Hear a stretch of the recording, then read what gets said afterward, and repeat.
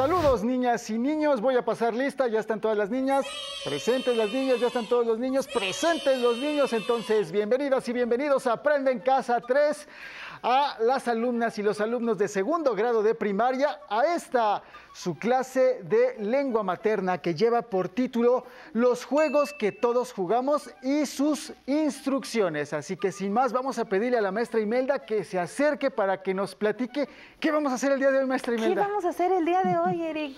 ¿Cómo estás? Bienvenidas, bienvenidos a esta su clase de lengua materna. El día de hoy vamos a continuar con el tema los juegos que todos jugamos y sus instrucciones. Recuerden que es muy importante saber cómo se juegan porque estamos haciendo nuestra antología, nuestra colección de juegos. Y necesitamos entonces, número uno, título, materiales, cantidad de participantes y la descripción, las instrucciones de cómo se va a jugar, ¿verdad?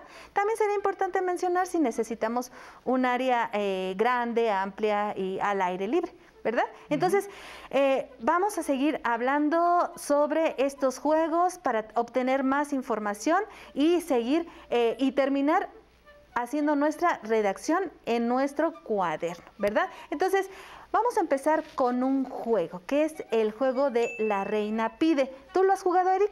Ah, me acuerdo, hace muchos años que lo jugué. Puede ser la reina pide o puede ser también el rey pide, de acuerdo a la persona que vaya a participar, ¿verdad? O que vaya a fungir como eh, el rey o la reina. Entonces, consiste en lo siguiente. En este caso, yo, eh, como te lo voy a enseñar, vamos a, el título va a ser La reina pide. Entonces yo te voy a pedir algunos objetos. Tú eres la reina. Yo soy la reina. Muy bien. Y pues como nada más estamos Eric y yo, pues solamente somos dos y vamos a jugar en pareja. Pero si eh, tú tienes la oportunidad, se pueden jugar hasta con cinco o con diez. Aquí eh, se trata de que la reina pida objetos. Y la persona que más objetos le lleve a la reina en menor tiempo, es el que gana porque se le va dando puntos. Ajá. vamos a poner un ejemplo, niñas y niños. Ajá. Y dice entonces, la reina pide, mm, pide una maceta. ¿Una maceta? Una maceta. Entonces, eh, ustedes tienen que empezar a buscar, a buscar, a buscar, a buscar, antes de que les ganen los otros niños. Y Eric se acaba de ganar un punto. Entonces, eh, si hubiera otras personas aquí con nosotros, el primero que te traiga la maceta, ese ya ganó. Excelente. Ah, muy, bien. Muy bien. Vamos con el siguiente. La reina pide, a ver, ustedes qué dicen, niñas y niños, ¿qué pide? Pide un cubo. ¿Un cubo? Un cubo. Eric, Eric, busca, busca, gánale a las niñas y a los niños. Gánale, ahí está, Eric. Eh, excelente, muy bien. ¿Hacemos el último? Sí. Ya lleva dos puntos, Eric. La reina pide un carrito. ¿Un carrito? Un carrito, un carrito, un carrito, un carrito. Eric, ahí, ahí, no, derecha, izquierda, arriba, abajo, del otro lado, Eric, del otro lado, Eric, ahí no, ahí no, ah, ah, ahí, ahí, ahí, abajo, abajo, a la derecha, a la derecha. Ah, eh, excelente, muy bien.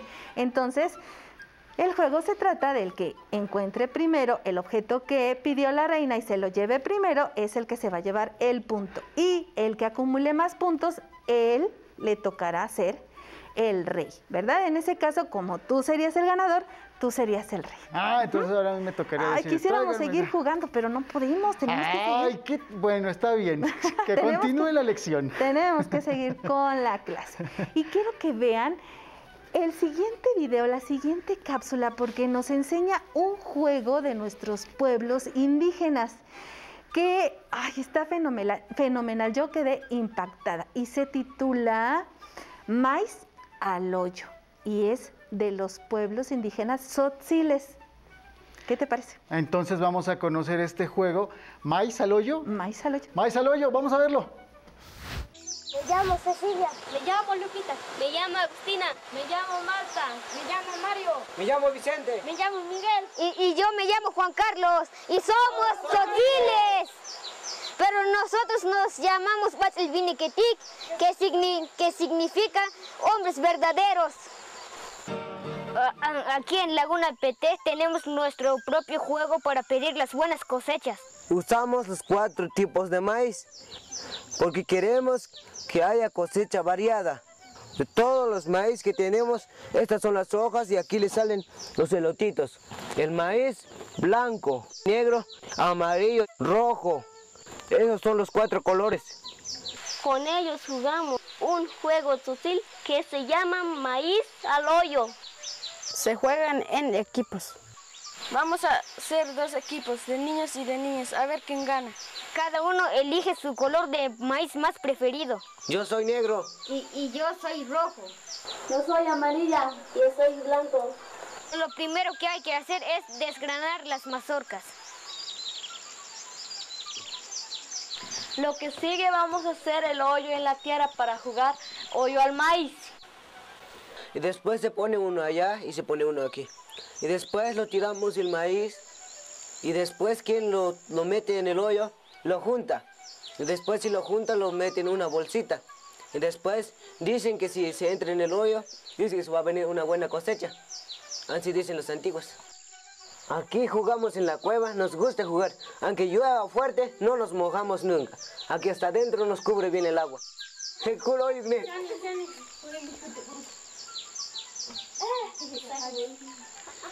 Ah, aquí me gusta. Pero este, vamos a, a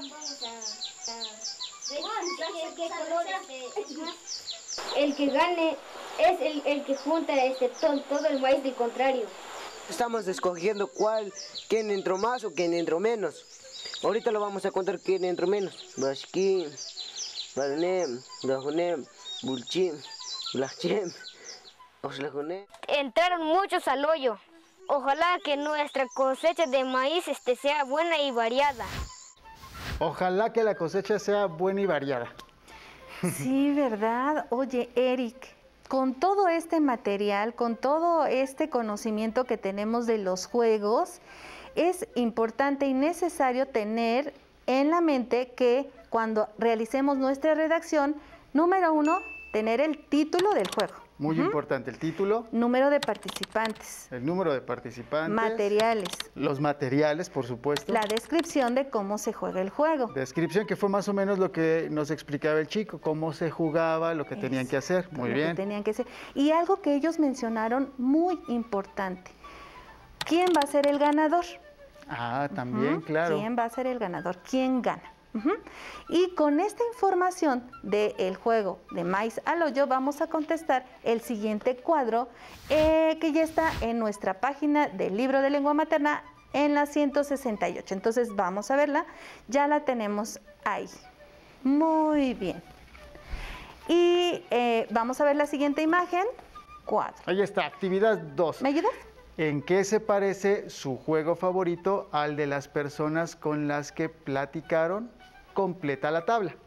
Muy bien, pues nosotros ya tenemos mucho material porque seguramente las niñas y los niños ya platicaron con alguno de sus familiares y ya les pudieron platicar acerca de los juegos favoritos que jugaban en su niñez. Y entonces vamos a llenar el siguiente cuadro con la información de eh, maíz al. Ahora sí, vamos a empezar.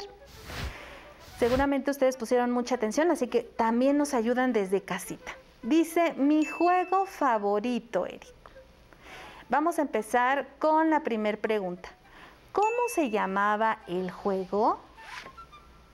Mm, El juego se llama Maíz al hoyo. Perfecto, maíz al hoyo. Vamos a leer la segunda. ¿Cuántos jugadores se necesitaba? Eh, se necesitaban cuatro jugadores, uno por cada color de maíz. Excelente. Siguiente pregunta. ¿Cómo se juega? Y era hacer equipos, elegir color, sí. desgranar la mazorca, hacer el hoyito en la tierra y aventar los granos de maíz al hoyo. Excelente. Siguiente pregunta. ¿Qué objetos se necesitan? Mazorcas de maíz de diferentes colores. Muy, muy bien. ¿Y por qué es tan divertido? Se necesita mucha habilidad para atinarle al hoyito cuando estaban aventando los granos de lote. Mucho tino, ¿verdad, Eri? Ujú, Tenían que acertar Mucho muy bien. acertar, tener este buen tino, ¿verdad? Entonces se necesita practicar, practicar, practicar, ¿verdad? Qué divertido. Y además estaban en una cueva. te- eh, bueno, sí, era Sí, como una era- cueva. era una cueva. Muy, muy bien. Y así quedaría nuestra, nuestro cuadro resuelto. Vamos a verlo. Claro, a ver, veamos y pongamos mucha atención, niñas y niños, para ver cómo se ve ya resuelto el cuadro. Déjame verlo. Porque es muy importante. Algo, algo que no este, pudimos mencionar es que en este juego ganaba Sí. el que anotara más, este, al que pudiera meter más granitos de maíz en el hoyo. Y con eso, y sabíamos quién ganaba por el color. Fíjate, Eric, que además ellos utilizan los recursos que tienen a su alrededor para poder eh, divertirse, ¿verdad? Y que este tipo de juegos eh, respetan a la naturaleza, trabajan en equipo y pues también hasta son tolerantes, ¿verdad? Claro, forman más este unión en su comunidad también. Este tipo de juegos ayuda a que su comunidad se fortalezca más. Se fortalezca, además que, que decían que era para que hubiera una buena cosecha, Claro, también. ¿verdad? Trae un mensaje Sí. este, muy bonito ahí su juego. Sí, es necesario que nosotros también al momento de jugar, pues eh, aprendamos a que a veces nos toca ganar y a veces nos toca pues perder, Perder, ¿verdad? Y que no pasa nada, forma parte de, de ese juego, Y el ¿verdad? aprendizaje también creo, maestra Imelda, cada vez que perdemos en algo, aprendemos por qué perdimos, nos damos cuenta de cuál fue nuestro error y entonces podemos superarlo. Y ahí en el video de Maíz al hoyo vimos como todos eh, pues estaban divirtiendo, Sí. ¿verdad? De eso se trata, jugar para divertirnos. Se la estaban pasando muy bien. Ahora sí, vamos a, a llenar la siguiente columna de nuestro cuadro, pero antes necesito que veamos un video donde una maestra nos explica cómo se juega la matatena. ¿Sabes tú cuál es la matatena? Creo que me acuerdo acuérdate. cómo se juega la matatena. Bueno, te voy a dar un pequeño dato curioso. A ver. Dato curioso, niñas y niños. La palabra matatena es de origen náhuatl y significa, bueno, se escribe en náhuatl matetema y significa llenar las manos de piedras. Llenar las manos de piedras. ¿no? Entonces, con ese dato váyanse imaginando cómo jugamos a la matatena. Ahora sí, vamos a ver el video y la explicación. ¡Corre el video!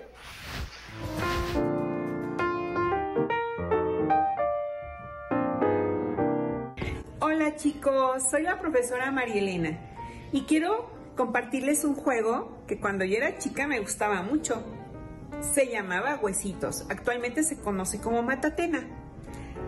Recolectaba chabacanos y rescataba los huesitos. Los lavaba, los ponía a secar y después los pintaba de colores. ¿Quieren saber cómo lo jugaba?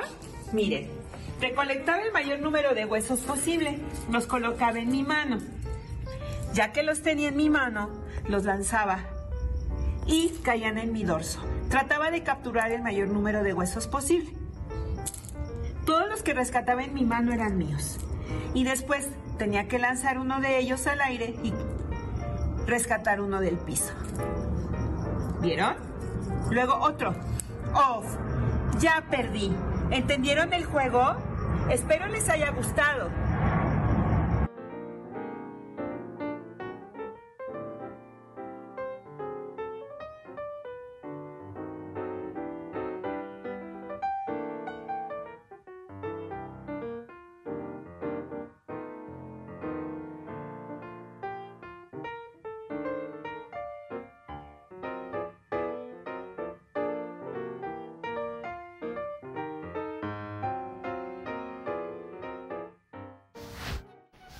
Ya me acordé ahora sí cómo se juega. Ya está más que claro. Y hay sus variantes, Eric. Fíjate que eh, como es eh, un juego tradicional de nuestros pueblos indígenas y como dice eh, ma- eh, manos llenas de piedras, pues resulta que sí podemos jugar con... Piedras. Eric, Mira, y yo te traje una, Eric. Ah, yo, yo lo que traigo es el juego con sus Ah. variantes, con las figuritas de plástico. Y podemos ver cómo su diseño y sus materiales pues cambian, ¿verdad, Eric? Sí. A ver, vamos a hacer un intento, a ver si nos sale, A ver. ¿verdad? Recuerden Sí. que hay sus variantes para poderlo jugar. En el caso de las piedras, Eric, ¿nos, nos podemos agachar? Lo hacemos en... Sí, en- nada más les muestro estas. En lugar de piedras eran estas, son estas figuritas, las modernas. Sí, ahora son de plástico, De ¿verdad? plástico, Y se exactamente. utiliza una pelotita. Fíjate que hay hasta en algunos casos que usan eh, el limón.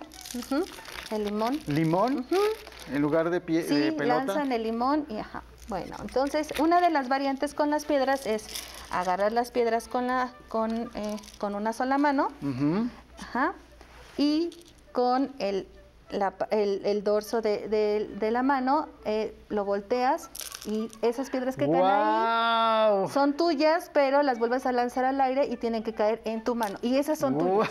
Esas son tuyas. Entonces las zapatas. Agarras una piedra, la lanzas al aire y tomas una piedra. Vamos a hacerlo. Y bien. este eh, punto es tuyo. Entonces seguimos jugando.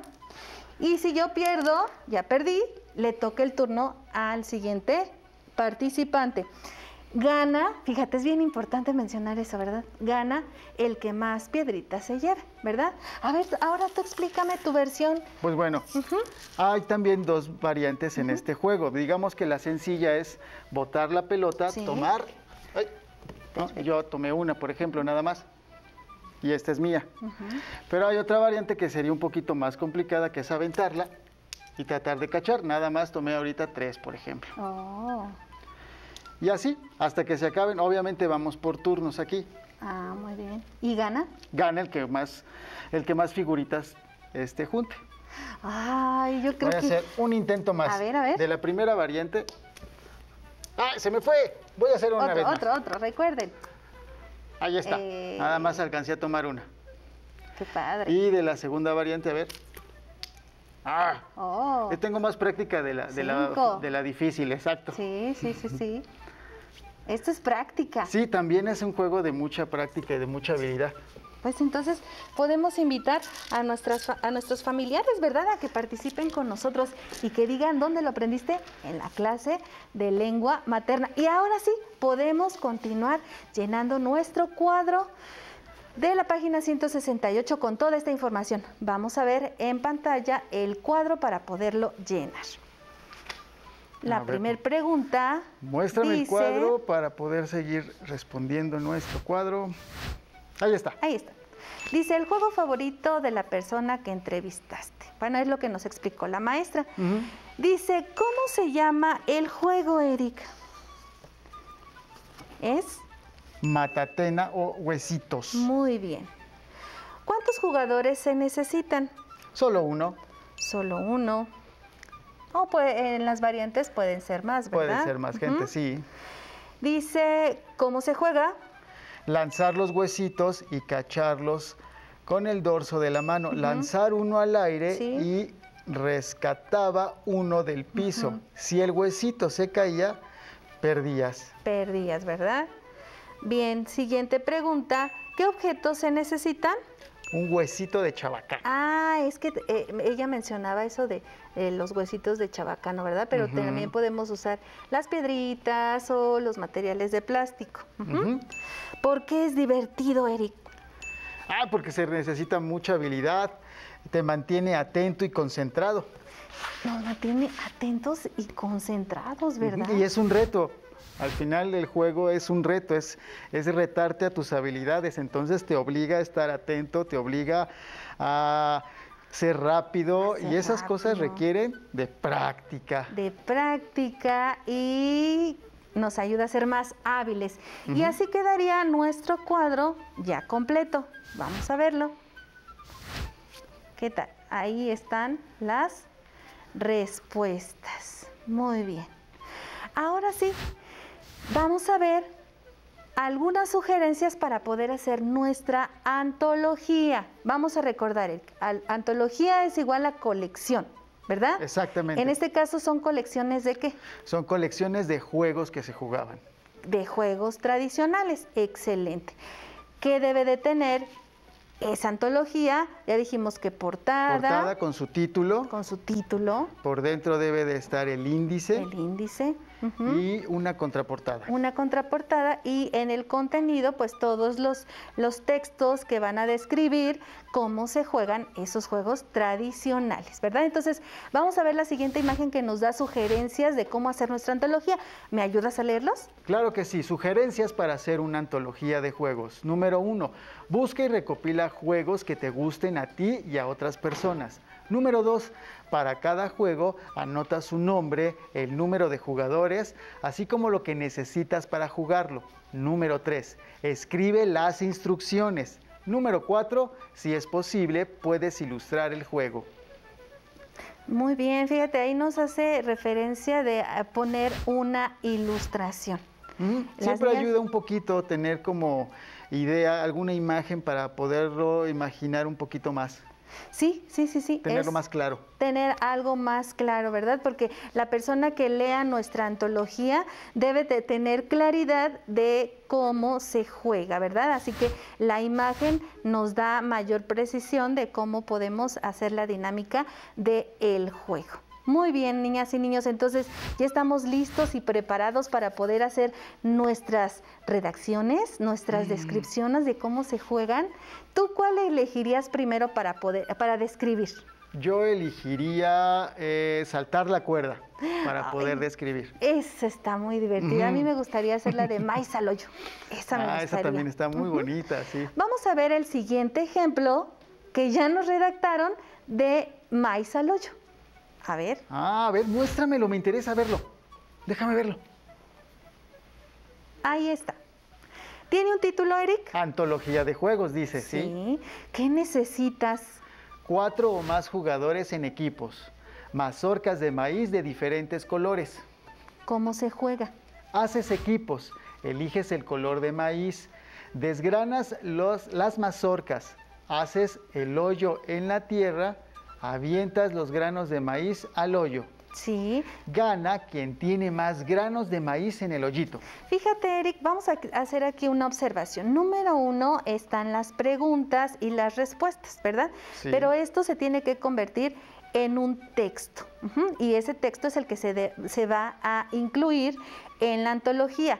Número dos, posiblemente eh, tengamos, tengan las niñas y los niños algún error ortográfico, ya sea de separación de palabras, ya sea de signos, ya sea eh, el uso de, de, la H, o si se escribe con C o con Q, o si lleva o no lleva H. En este caso, ahí a la palabra hoyo le hace falta una H, una H. ¿verdad? Y va con I griega.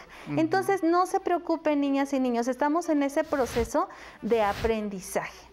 Y para eso sirve la revisión de nuestros textos, ¿verdad, Eric? Exactamente, hay que leerlos constantemente y pedirle a alguien que los lea y nos revise si están bien escritos. Tú has dicho algo bien importante.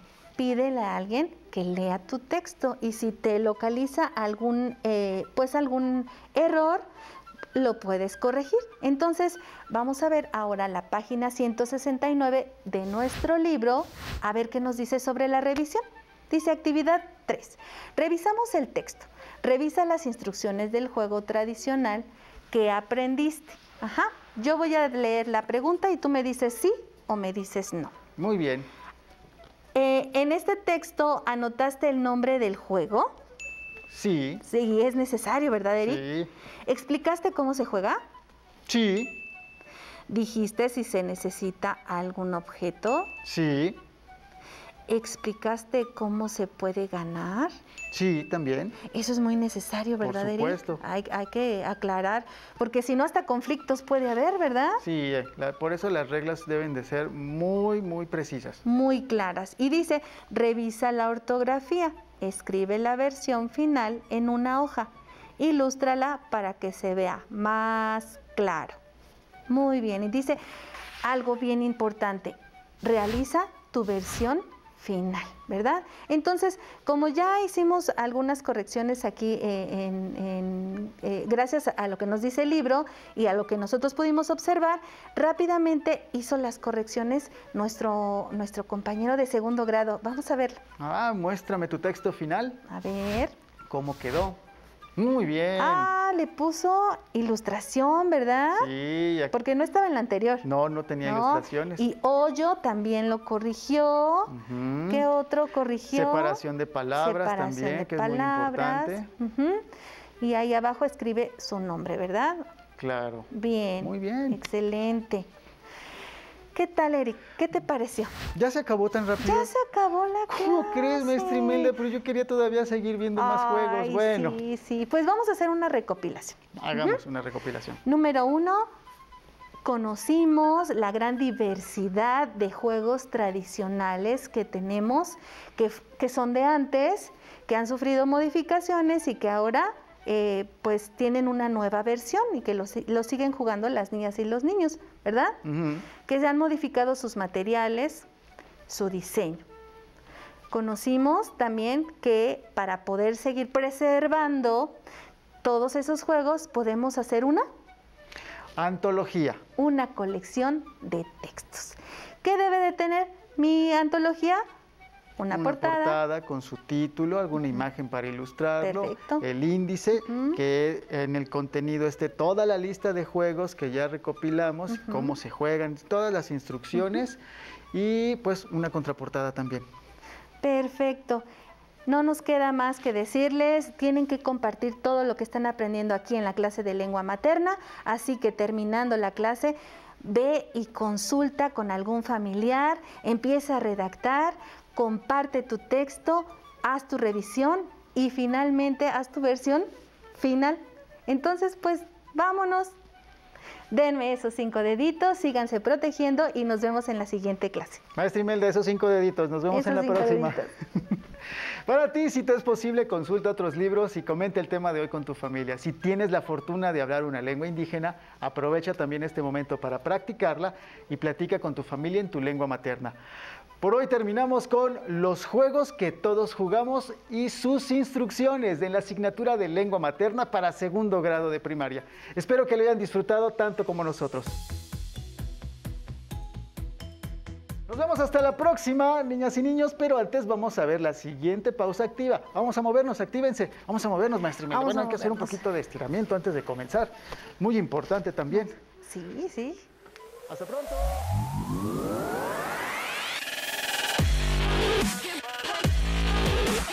Recuerda, entre clase y clase, activa tu cuerpo.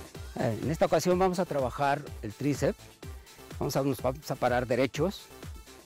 Vamos a elevar los brazos, nos vamos a llevar las manos atrás de la nuca y vamos a hacer una extensión, como si, si quisiéramos alcanzar el cielo. Venga, uno, eso, perfecto. Con fuerza, que se vea. Bien, Yair, muy bien, perfecto, exacto, así es, así es. Ok, perfecto. Ahora vamos a hacer la demostración. Flexión, extendo, con fuerza, con fuerza. Bien, Yair, muy bien. Con fuerza, uno más. Bien, muy bien. Claro que sí. Ah, bien, descansamos, ya, Yair. Ah, bajamos los brazos, respiramos, respira profundo. Ah, Ahora vamos a trabajar el brazo de bíceps. Vamos a, nos vamos a parar derechos, vamos a pegar los codos a nuestro cuerpo y vamos a hacer la flexión a 90 grados. Bajamos, flexionamos, exacto, muy bien Yair, así exacto. Con fuerza, que se vea bien, 90 grados, perfectamente bien realizado. Una vez más. Y después de cada pausa, activa tu mente.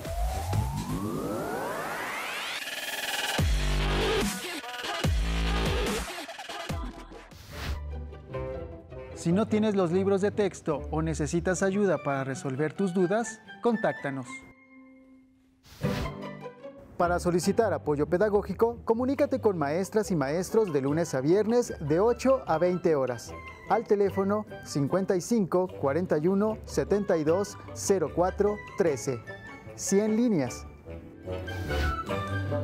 También puedes encontrar los libros de texto en la página conalitech.cep.gov.mx. Si quieres volver a ver los programas de Aprende en Casa 3, los puedes encontrar en la siguiente liga, aprendeencasa.cep.gov.mx.